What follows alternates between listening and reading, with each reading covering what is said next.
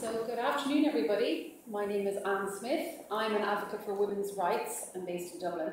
And I'm delighted to have the opportunity to speak at this event marking International Women's Day.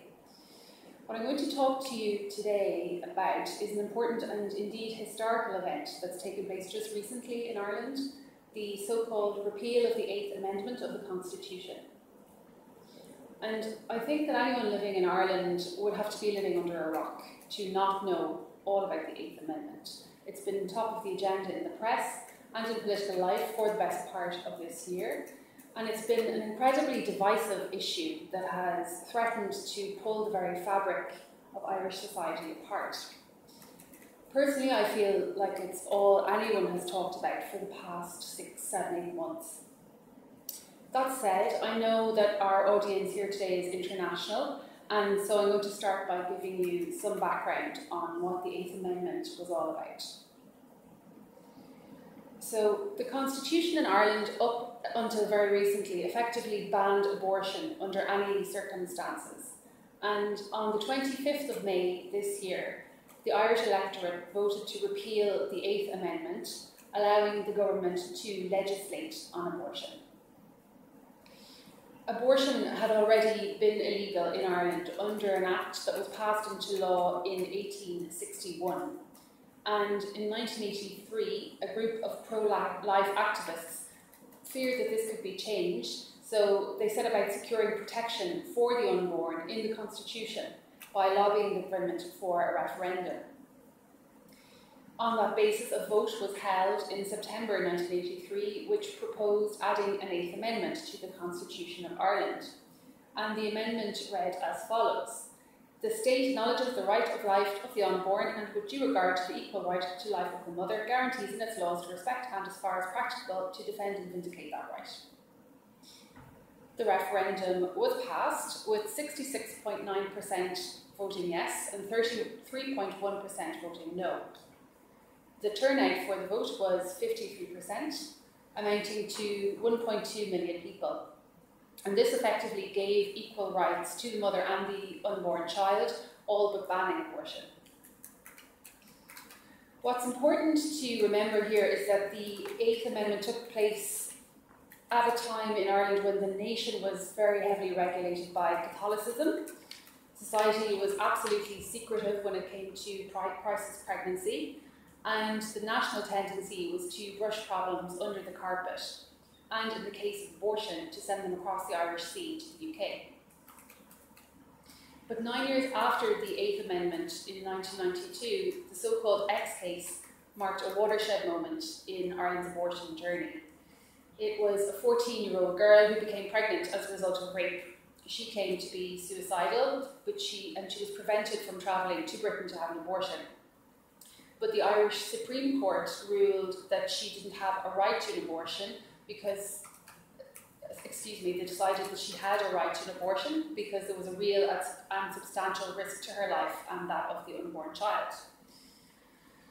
So this sparked huge debate once again across the country. It highlighted problems with the Eighth Amendment, and as a result, three referenda were held simultaneously on the same day in November 1992.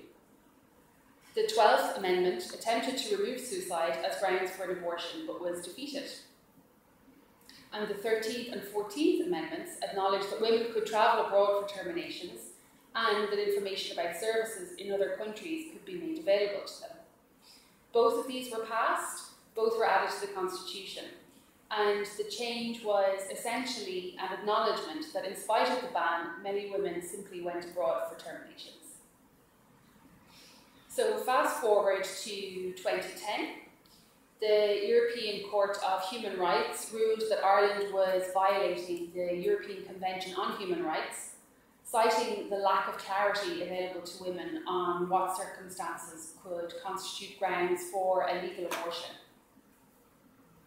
And then in 2012, the case of Savita Halappanavar caused shockwaves and led to widespread protests in Ireland because what happened was a young dentist was admitted to a hospital in Galway with complications during pregnancy. And her doctor said that it was inevitable that she was going to have a miscarriage. but they refused to, to terminate her pregnancy. Um, she was told that it was a Catholic country, that it couldn't be done, and so on. And she died in the same hospital a few days later from sepsis.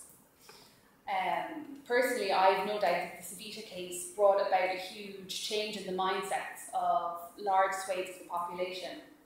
They were shocked to think that a woman could be left to die without a miscarriage, and the medical staff that were supposed to be looking after her were absolutely powerless to do anything about the situation. And so, a year after Savita's death in 2013, a new act was passed into law defining the circumstances in which abortion could be carried out legally.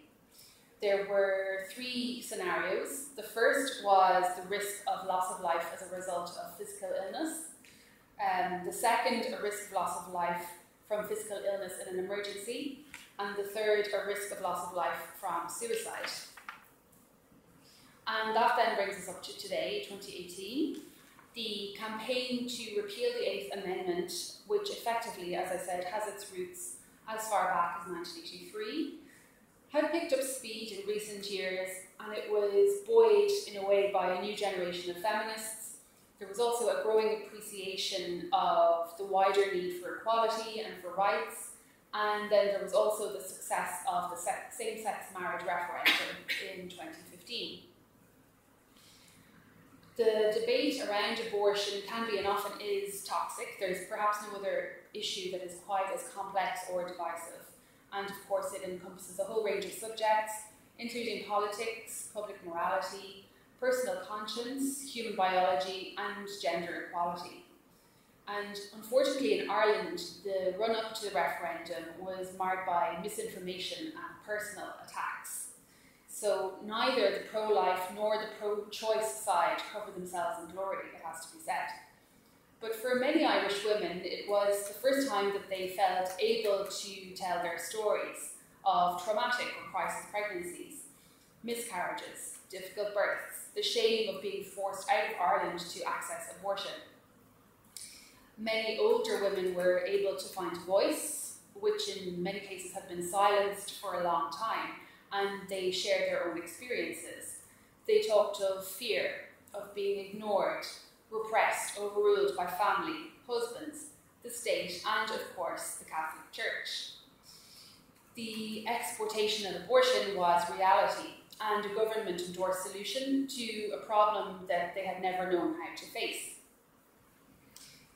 So, unfortunately, the debate became increasingly ugly, with both sides refusing to listen to the other or to deal with the questions raised by those who struggled with the moral side, as well as the practicalities of abortion. But for me, this referendum, above all else, was about women's rights. Because in Ireland, under the Eighth Amendment, women had no bodily autonomy.